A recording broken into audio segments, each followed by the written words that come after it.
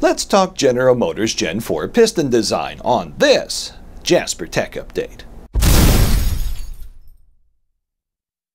A piston is a major component, and it's crucial to the life of the engine.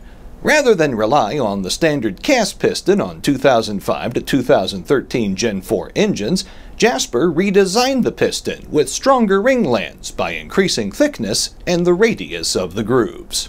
The lands are also profiled for improved scuff resistance when the engine is under heavy load.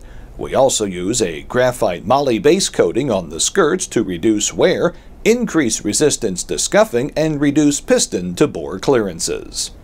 The Jasper design piston has four times more oil drain back than the original design to prevent the rings from sticking.